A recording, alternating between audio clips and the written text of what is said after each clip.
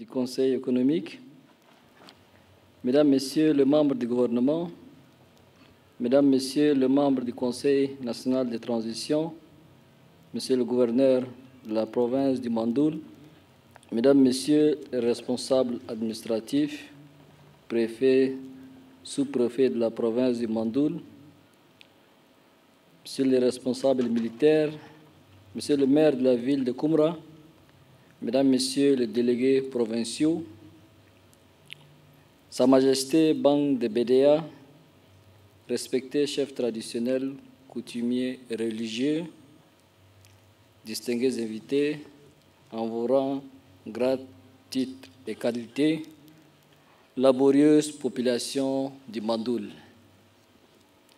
Chers frères et sœurs, je voudrais d'abord et avant tout exprimer combien je suis heureux de me tenir devant vous dans cette belle ville de Koumra, chef-lieu du Mandoul, qui a vu naître notre premier président du Tchad, j'ai nommé Ngarta Tombalbay. Il me plaît également d'exprimer à cette occasion mes vifs remerciements aux membres du comité d'organisation ainsi qu'à toutes les personnes mobilisées localement et à partir de la capitale pour les efforts si mutualisés dans la parfaite organisation de cette visite. Merci pour cette mobilisation exceptionnelle et pour cet accueil si chaleureux que vous avez bien voulu nous réserver.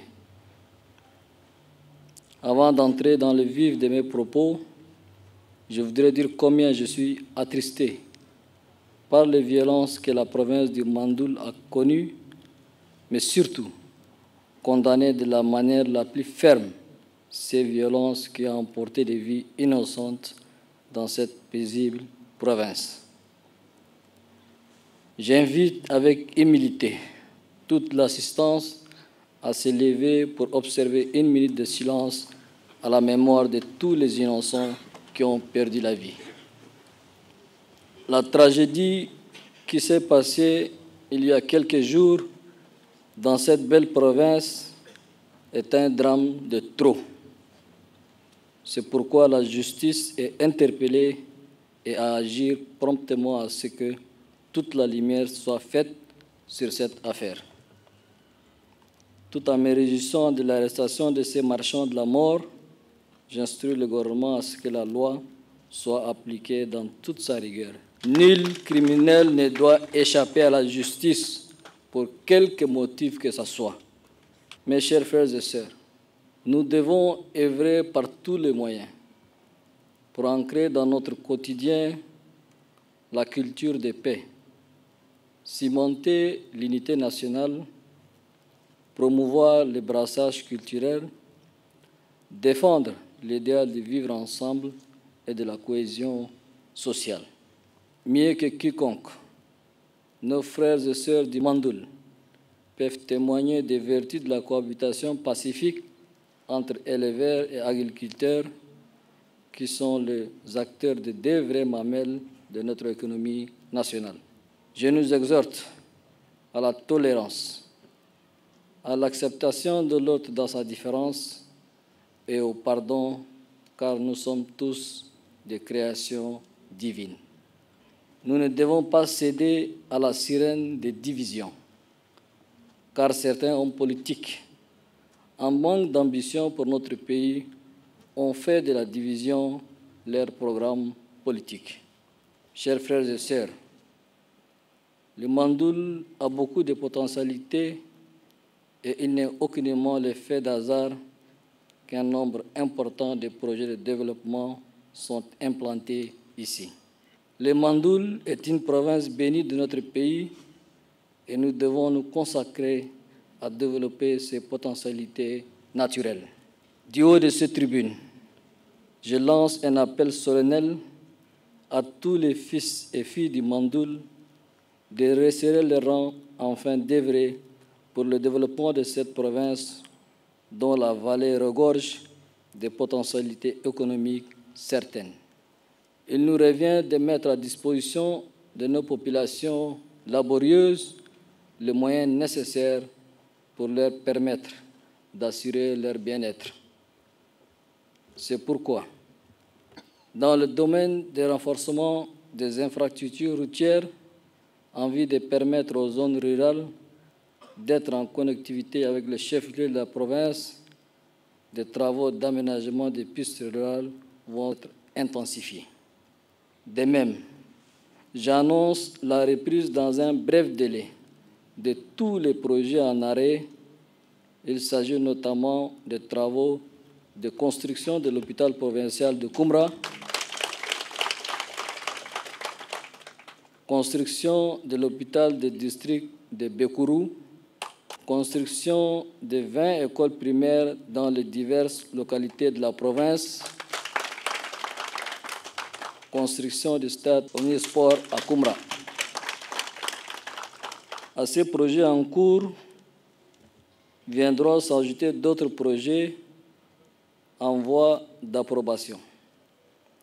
Je voudrais citer la construction d'un lycée à Bedjondo, d'un tribunal de grande instance de Kumra,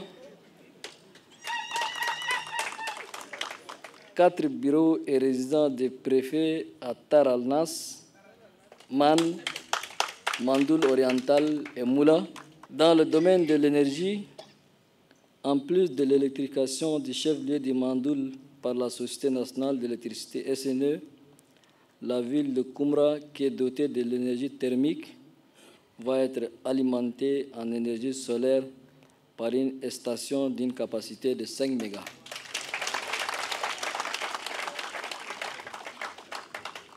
Dans le souci d'accroître l'accès à l'eau potable pour tous et améliorer les conditions de vie des populations du Mandoul, le ministère de l'eau est instruit de réaliser 350 nouveaux forages équipés de pompes à motricité humaine. 19 mini-stations d'alimentation en eau potable dans les chefs-lieux de canton, redynamiser le système d'entretien et de maintenance des ouvrages hydrauliques existants. Tous ces projets seront renforcés par un mécanisme efficace de suivi et de contrôle qui a l'obligation de rendre compte au gouvernement. Chers frères et sœurs, en vue d'assurer le bien-être de ces couches vulnérables, nous envisageons l'octroi de tracteurs aux groupements féminins et aux jeunes dans le cadre de la mise en œuvre de la vallée du Mandoul. La construction des centres de formation professionnelle des jeunes dans tous les départements du Mandoul. Pallier à l'insuffisance des effectifs des forces de sécurité tout en leur dotant des moyens efficaces de travailler pour une intervention rapide sur le terrain. Redéployer le personnel soignant par l'envoi de personnel qualifié. Pour rapprocher la justice des justiciables, le tribunal de grande instance de Kumra doit renfermer en son sein des magistrats intègres, travailleurs et rompus dans le fonctionnement de l'appareil judiciaire.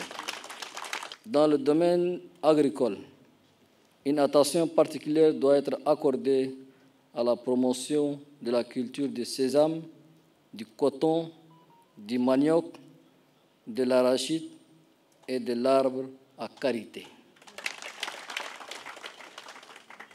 Dans le même élan, il nous faut renforcer le dispositif provincial de suivi de la santé animale par une meilleure vaccination du cheptel.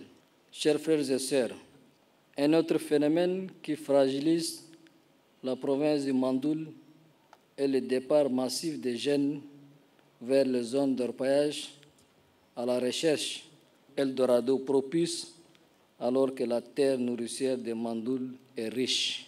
Le gouvernement doit accompagner les jeunes et les femmes de Mandoul au fin de s'adonner à des activités pérennes et génératrices de revenus plus rentables et porteuses d'espoir. C'est aussi le lieu pour moi d'exhorter les ressortissants de la province à cultiver l'harmonie, l'entente et l'entraide afin d'œuvrer ensemble en faveur de la paix et du développement de la province. Avant de terminer, je n'insisterai jamais assez sur l'importance vitale de mutualisation de nos efforts dans la préservation et la consolidation des acquis de la paix et de l'unité nationale dans la province de Mandoul et partout dans notre pays. Je voudrais féliciter le gouverneur, les forces de l'ordre et les chefferies traditionnelles pour avoir rapidement maîtrisé la théorie qui s'est déroulée à Baradé et avoir arrêté les auteurs. Je voudrais enfin annoncer à mes chers frères et sœurs du Mandoul que j'ai décidé de construire une mausolée digne de cette appellation sur la tombe du feu président Garta Tombalbaye pour honorer sa mémoire de premier président de la République du Tchad. Merci mes chers frères et sœurs pour l'accueil et la mobilisation. Que Dieu vous bénisse. Que Dieu bénisse le Tchad. Je vous remercie.